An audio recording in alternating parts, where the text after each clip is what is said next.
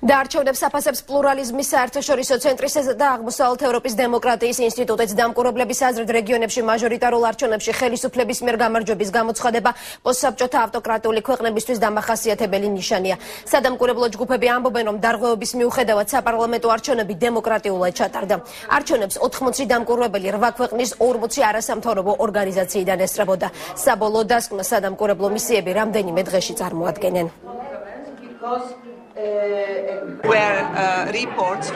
ძირითადი დარღვევები, რაც არჩევნებზე დაფიქსირდა, იყო უცნობი ადამიანებისა და საარჩევნო კომისიის წევრების კონტაქტი უბნის გარეთ. ისინი გადიოდნენ მოსალაპარაკებლად და კარუსელის მოწყობაში დახმარებას თხოვდნენ.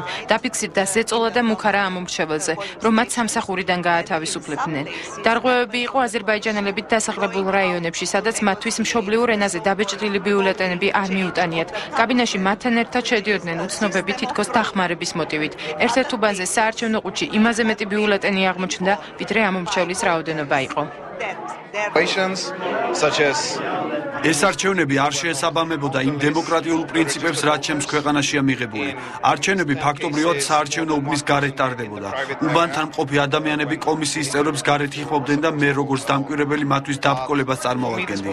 ერთ-ერთ უბანზე სიაში არ იყო 15 ადამიანი, თუმცა მათ არჩევნებში მონაწილეობა მიაღებინეს.